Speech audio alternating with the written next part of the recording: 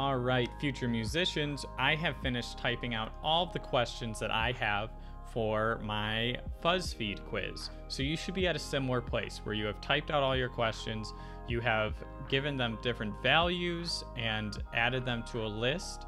You should be printing this just right now just to make sure that we are doing everything right. So I'm gonna run this and see if it's all working. So we're gonna run module and it'll ask me to save, okay. And then we get right here it's dessert time. Whipped up your favorite treat. What do you want? I'm to say egg custard tart.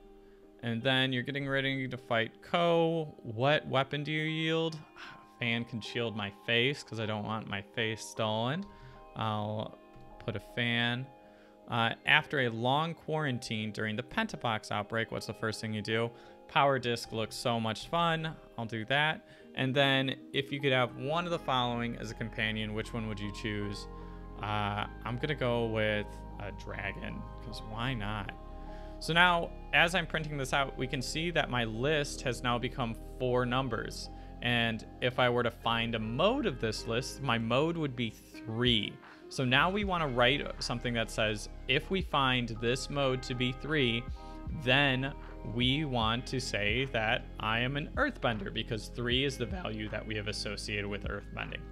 So we actually, in order to add in mode, we need to go back to the top of our program and we are going to import statistics. Cool. I believe it's just statistics. Yeah, it's just statistics. So we're going to import statistics. And that is going to be what we use because now we're going to use that and it gives us our mode function that we can use to actually find our mode. So in order to find our mode, what we are going to do is say that our answers mode is equal to uh, da, da, da, answers. No, no, no. It is yeah. Statistics dot multi mode and then that is of our answers. Remember, that's the list, the name of the list that we use. So now our answers mode should equal the mode of this. So we can go over here and we'll print our answers mode. So now when I run this, save, I'm gonna fly through this and right there.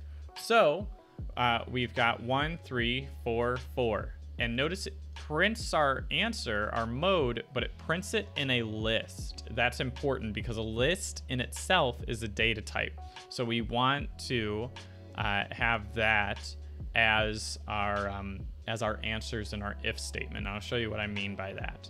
So after this, we want to say that if oh we need to go over into our results now.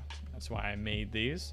So if answers underscore mode is equal equal to list one, so it's a mode of one, then we are going to print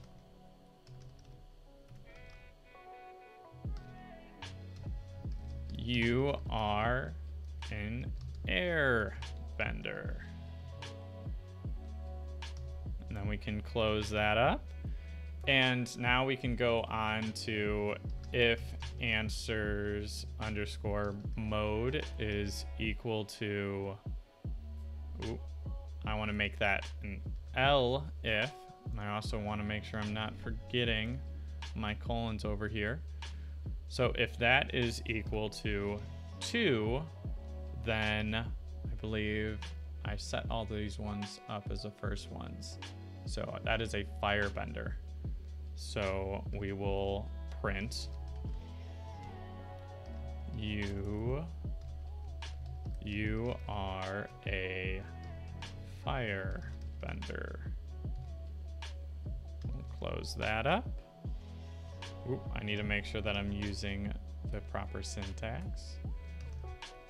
elif answers mode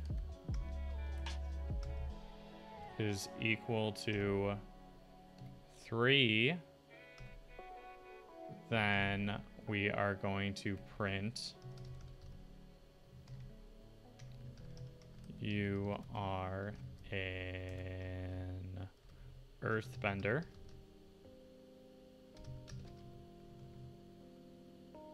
We'll close that up. And now we have got our last type of bender. So if the answers mode is equal to 4, then we are going to print you are a water bender. All right. So that is our big uh, results printout. But one more trick that I want to throw in here. And that's going to be what happens if we don't have a mode or we have this multi-mode. We could have a mode where people have answered two firebender answers and two earthbenders, or two air and two earth, or two air and two water, whatever, it doesn't really matter. Or we could have an option where the list is one, two, three, four, meaning that they are interested in all the elements. So I'm going to say else print you are the avatar. That's uh, pretty exciting. I know that it's slightly different than um, if you get two airbenders and two firebenders, you're not the avatar. But that's writing a lot more if statements than I'd like to do right now. So that's what I'm going to have right here. So that's going to be a fun little quiz, and this should all punch out with our static. So I'm going to run module, and I'll save it. And now we can see what type of bender you are. So I am going to say dessert. I really am interested in trying the fire flakes. I I really do love fighting with a sword, uh, but I want to get the avatar. So I'm going to say sledgehammer. And then uh, I haven't chose a water bending yet, so I'll say water bending, and then earth bending. We'll go with that.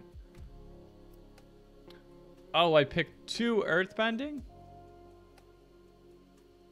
I did. I did. Badger mole and sledgehammer. I did. Well, I'm an earthbender. So that's the program. It works pretty simply. You can make your own FuzzFeed quiz what I really want to articulate inside of this is that we were able to take some numbers and use the math, and it's pretty simple math, to create something that you wouldn't really think that there's all this math behind. And that's computers work like this. They work with numbers and they're able to take our answers and put it in unique ways. So this is a problem solving technique that is commonplace within computer programming.